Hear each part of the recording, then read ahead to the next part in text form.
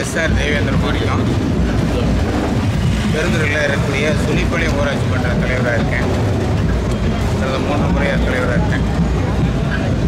DM ஆட்சியில் என்னன்னு சொன்னீங்கன்னா வளர்ச்சி திட்ட பணியில் எதுவுமே கிடையாது. வளர்ச்சி திட்ட பணிகள் எதுவுமே கிடையாது. ஒரு மாயான ஒரு தோற்றத்தை உருவாக்குறாங்களே ஒழிய மத சம்பந்தமான அரசியல் பண்ணி அதில் ஏதாச்சும் ஓட்டு வாங்க முடியுமா அப்படின்னு அதில் பார்க்குறாங்களே ஒழிய மக்கள் நலனை பார்க்கணும் மக்கள் மேலே ஒரு அக்கறை இருக்கணுங்கிற எண்ணம்லாம் அவங்க கிடையாது. அந்த மாதிரியான இந்த அரசும் கிடையாது. அதாவது ஒரு பய உணர்வு தான் வருதா ஒழிய பொதுமக்களுக்கு வந்து ஒரு பய உணர்வு தான் இருக்குது ஏன்னா பூராமே மது பிரியர்களும் ஆக்கிட்டாங்க. தமிழ்நாடு முழுவதும் ஒரு குடிகார நாடு மாதிரி ஆக்கிட்டாங்க. அதுக்கு முழுக்கான டிஎம்கே தான். அதில் மாறுபட்ட கருத்து இல்லை காரணம் அவங்க தொழிற்சாலை நடத்துகிறாங்க மது உற்பத்தி தொழிற்சாலை முழுவதும் அவங்க தான் நடத்துகிறாங்க அதனால் மது ஒழிக்க மாட்டாங்க. ஒழிச்சா தான் தமிழ்நாடு தமிழ்நாடாக இருக்கும் இல்லைன்னா ஒரு காலத்தில் சுடுகாடாக மாறும் வாய்ப்பு இருக்குது அதுக்கெல்லாம் முழு காரணம் டிஎம்கே தான். மாறுபட்ட கருத்தில். தொழிலில் பூரா நசுக்கிடுச்சு. மத்திய அரசை மத்திய அரசு மதிக்காமல் ஒன்றிய அரசுன்னு சொல்லிட்டு கேவலப்படுத்தக்கூடிய ஒரு சூழல். மத்திய அரசு மத்திய அரசு தான். அது உலகமே முழுவதும் வந்து சொல்லக்கூடிய ஒரு நிகழ்வு. ஆனால் அதை ஒன்றிய அரசு என்று கேவலப்படுத்துகிற பொழுது தொழில் வளர்ச்சி முழுவதுமாக முடக்கப்படுவதில் இயல்பு. அவங்க மக்களுக்கெல்லாம் தெரியாது. ஏன்னா மத்திய அரசினுடைய தொழில் வளத்துறையில் வந்து அந்நிய முதலீடு இழுக்கிறது அந்நிய தொழிலை பண்ணுறது எல்லாமே வந்து மத்திய அரசு தான். பிஜேபி அரசு இதை அவங்களுடைய மோடி அவர்களை வந்து மோடி அவர்களை அணுகி நல்ல வளர்ச்சி திட்ட பணிகளை கொண்டு வந்திருந்தாங்கன்னா மக்களுடைய வாழ்வாதாரம் பெருகி இருக்கும்.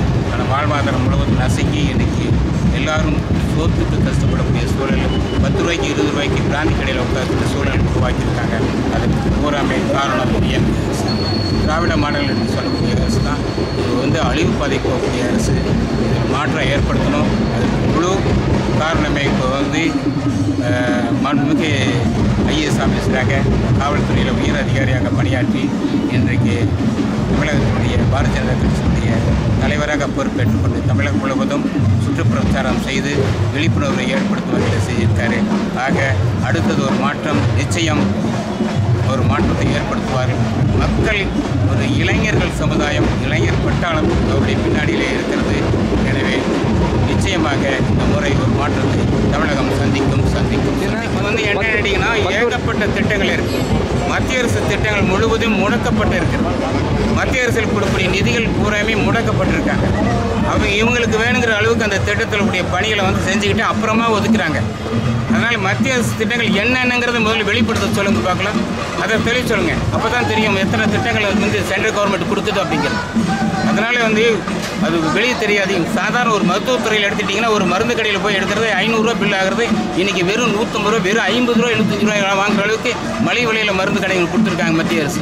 அப்புறம் அதெல்லாம் ஒன்றும் இல்லைங்களா இன்றைக்கி இன்றைக்கி நோய் இல்லாத குடும்பமே கிடையாது. ஆனால் அத்தனைக்கும் காரணம் இன்றைக்கி இருக்கக்கூடிய ஒரு டிஎம்கேனுடைய ஒரு வந்து ஒரு கேவலமான ஒரு நடவடிக்கைனால தான் மக்கள் வந்து குடிகார நாடாகி இன்னைக்கு அழிவு பாதைக்கு போயிடுச்சு சார்.